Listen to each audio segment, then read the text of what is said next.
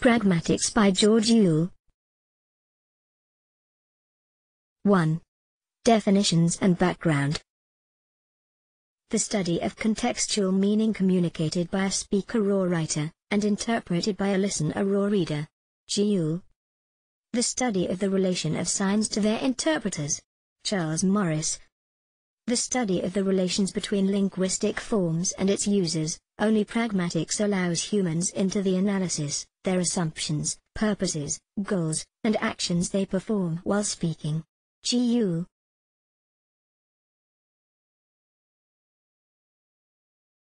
Pragmatics is 1. The study of speaker meaning what people mean by their utterances rather than what the words or phrases might mean by themselves.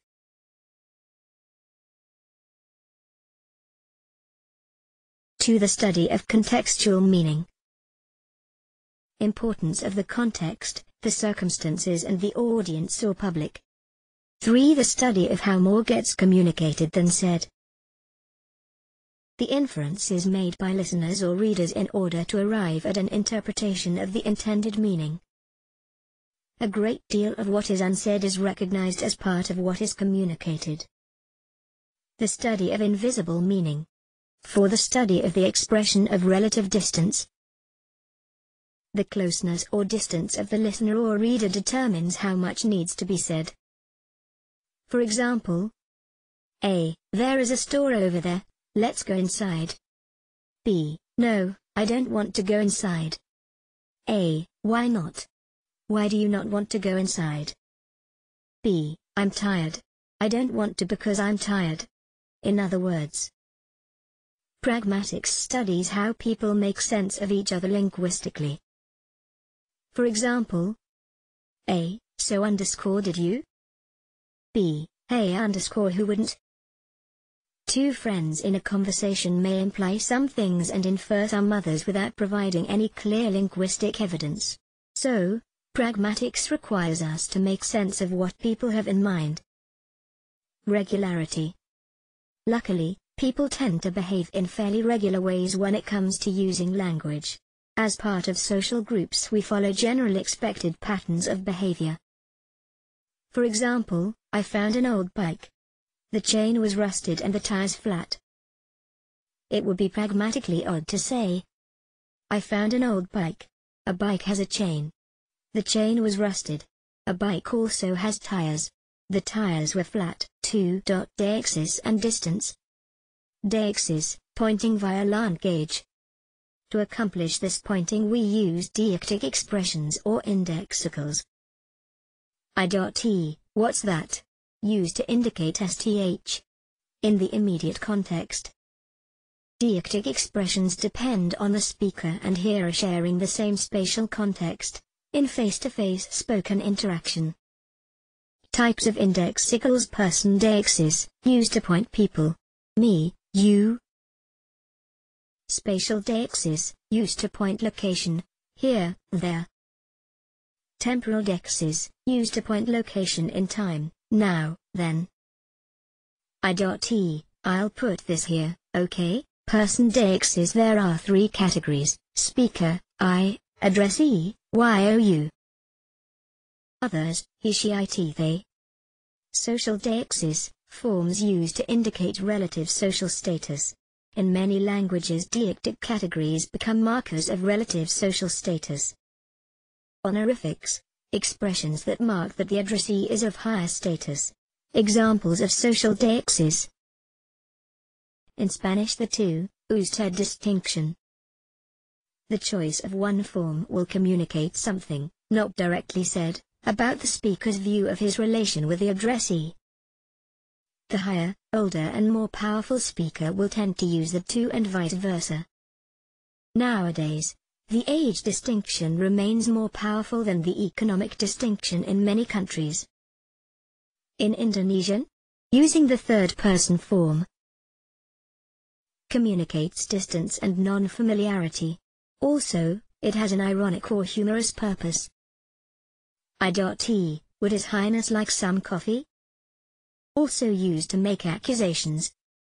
Somebody didn't clean up after himself, less direct than you didn't clean. spatial deixis.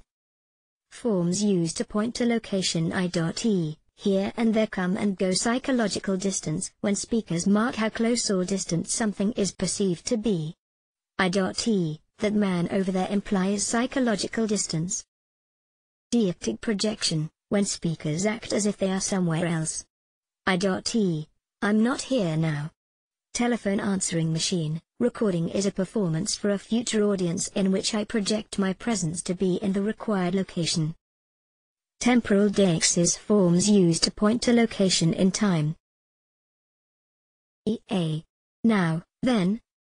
In contrast to now, the distal expression then applies to both past and future time relative to the speaker's present time.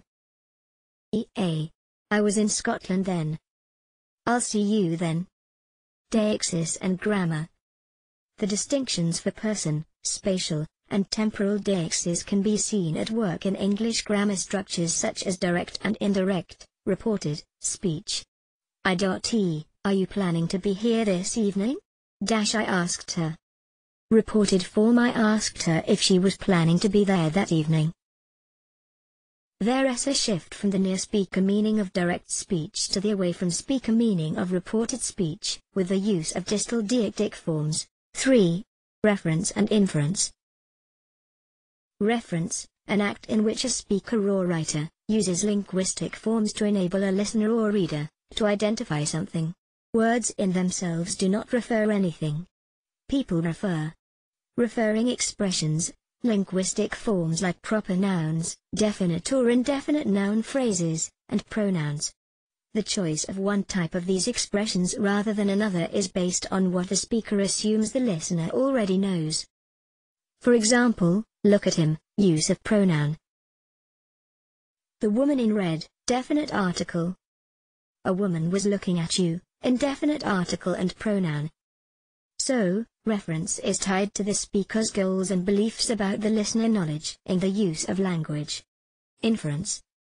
For successful reference to occur, we must recognize the role of inference and collaboration between speaker and listener in thinking what the other has in mind. Sometimes we use vague expressions relying on the listener's ability to infer what referent we have in mind. I.T, the blue thing, that stuff. We sometimes even invent names. Pragmatic connection. A conventional association between a person's name and a kind of object within a socio-culturally defined community. I.T. Can I borrow your Shakespeare? Picasso's on the far wall given the context, the intended and inferred referent is not a person but probably a book, the role of co-text. Co-text, the linguistic environment in which a word is used. The Co-text clearly limits our range of possible interpretations we might have for a word. I.T. Brazil wins World Cup. Brazil would be the referring expression, and the rest of the sentence the co-text. The physical environment in which a word is used. Context. Co-text. The physical environment in which a word is used just the linguistic part of the environment in which a referring expression is used. Guess the context for these referring expressions. Your 10.30 just cancelled. The heart attack mustn't be moved. A couple of rooms have complained about the heat. Anaphoric reference. The expressions used to maintain reference to something or someone already mentioned. I.T. A man was looking at us.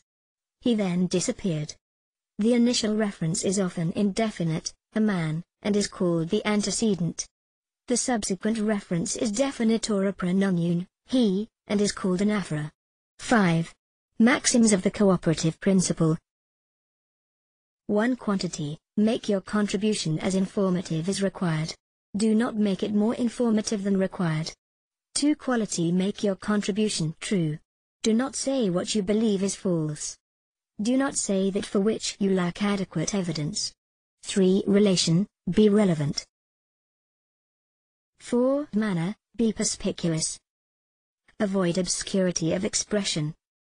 Avoid ambiguity. Be brief, avoid unnecessary prolixity. Be orderly. these maxims should be recognized as unstated assumptions we have in conversations. However, there are certain expressions speakers use to mark that they may be in danger of not fully adhering to the principles. Hedges, cautious notes about how an utterance should be taken when giving information. Examples of hedges, hedges of quality. As far as I know, they're married. I may be mistaken, but I thought I saw a wedding ring on her finger. I'm not sure if this is right, but I heard it was a secret ceremony. He couldn't live without her, I guess, hedges of quantity. As you probably know, I'm terrified of bugs so, to cut a long story short, we grabbed our staff and ran I won't bore you with all the details, but it was an exciting trip. Hedges of relevance I don't know if this is important, but... This may sound like a dumb question, but... Not to change the subject, but... Oh, by the way. Well, anyway. Hedges of manner, this may be a bit confused, but I'm not sure if this makes sense, but I don't know if this is clear at all, but conversational implicature. The basic assumption in conversation is that, otherwise indicated, the participants are adhering to the cooperative principle and the maxims. The following examples show a speaker conveying more than he said via conversational implicature. A. I hope you brought the bread and cheese. B. Ah, I brought the bread. Speaker B assumes that A infers that what is not mentioned was not brought. A. Do you like ice cream? B. Is the Pope Catholic? Conventional implicatures. In contrast to the previous implicatures, these ones are not based on the cooperative principles maxims. They do not have to occur in conversation and don't depend on special contexts for interpretation. They are associated with specific words and result in additional conveyed meanings. For example, the English conjunctions but and and. The interpretation of any utterance with a word but will imply an implicature of contrast and with and an addition. Mary suggested black, but I chose white. The words even and yet also have conventional implicature. Even implies contrary to expectation. Yet implies that the present situation is expected to be different at a later time. 6. Speech acts and events. Actions performed via utterances are called speech acts. In English they are commonly known as apology, compliment, complaint, invitation, promise, or request and apply to the speaker's communicative intention. The circumstances surrounding the utterance are called the speech event and it's their nature that determines the interpretation of an utterance as performing a particular speech act. For example, this tea is really cold. This utterance can be interpreted as a complaint or as a praise, depending on the circumstances. If it is winter or summer, a cold or a hot day, etc. Speech acts. 1. The locutionary act, the basic act of utterance which produces a meaningful linguistic expression. If you have difficulty in producing a meaningful utterance, because it's a foreign language or you're tongue-tied, then you might fail to produce a locutionary act. What? Aha Makotha. 3. The perlocutionary act. 2. Illocutionary act. The communicative force of an utterance. We form an utterance with some kind of function in mind. An offer, a statement, a promise, a threat, etc. 3. The perlocutionary act. The effect of an utterance. The same locutionary act can represent different illocutionary forces. A prediction. A warning. A promise. IFIDs illocutionary force indicating devices. How can the speaker assume that the intended illocutionary force will be recognized by the hearer? IFIDs illocutionary force indicating devices. Felicity conditions. IFIDs felicity conditions. The most common IFIDs are performative verbs, verbs that explicitly name the illocutionary act being performed. I.T. I promise you that. I warn you that. I predict that. Certain expected or appropriate circumstances for a speech act to be recognized as intended. I.T. I sentence you to six months of prison if the speaker wasn't a judge in a court, this performance would be infelicitous or inappropriate. Other IFIDs other felicity conditions. Word order. Stress. Intonation. I dot e, You're going. I tell you. You're going? I request confirmation. Are you going? I ask you if. General conditions, on the participants, for example, that they can understand the same language, and that they aren't play acting or being nonsensical. Content conditions, for example, a promise must be about a future event, preparatory conditions, specific requirements prior to an utterance in order for it to count as a particular speech act. Sincerity conditions, requirements on the genuine intentions of a speaker.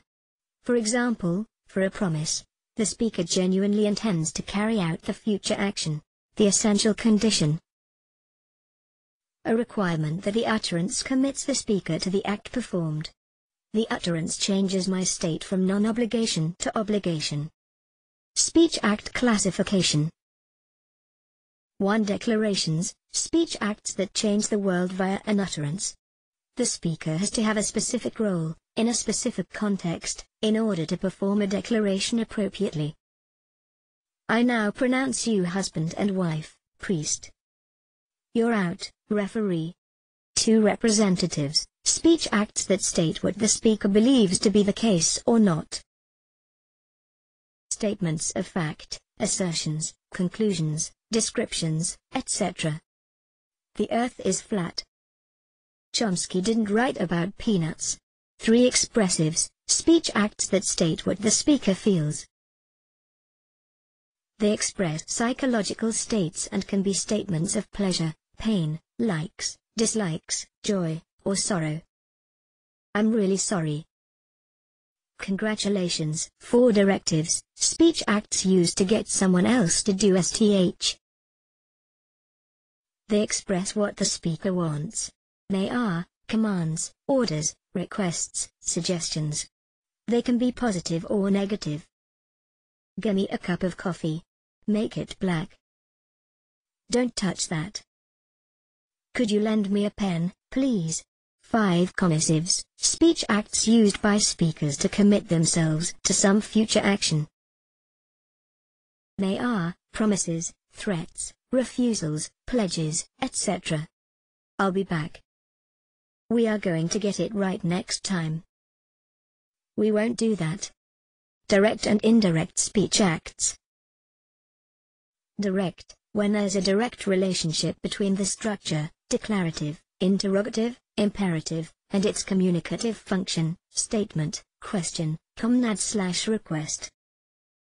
Indirect, indirect relation between the structure and function. Example of indirect speech acts. Move out of the way. Dash, the only direct command. Do you have to stand in front of the T.V? A question functioning as an indirect command. You're standing in front of the T.V, a declarative functioning as an indirect request. 7. Politeness and interaction. A linguistic interaction is necessarily a social interaction. We take part in a wide range of interactions, mostly with strangers, where the social distance determined by external factors is dominant. However, there are other factors, like amount of imposition or degree of friendliness, which are often negotiated. Politeness Polite social behavior within a culture. We assume that participants in an interaction are generally aware of such cultural norms and principles of politeness. Face, the public self-image of a person.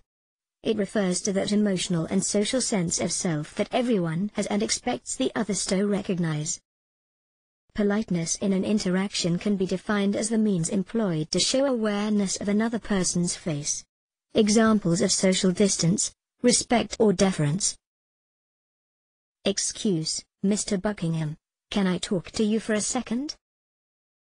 Social closeness, friendliness, or solidarity. Hey, Bucky, got a minute? Face wants, a person's expectations that their public self-image will be respected. If a speaker says STH, that represents a threat to another individual's expectations regarding self-image, it's described as a face-threatening act. When someone says an utterance that avoids a potential threat to a person's face, it's called face-saving act. Example. A. I'm going to tell him to stop that awful noise right now. A. I'm going to tell him to stop that awful noise right now. Face-threatening act. B. Perhaps you could just ask him if he's going to stop because it's getting late and we need to sleep. Face-saving act. Self and other, say nothing. Imagine you arrive at a lecture but you've forgotten a pen to take your notes.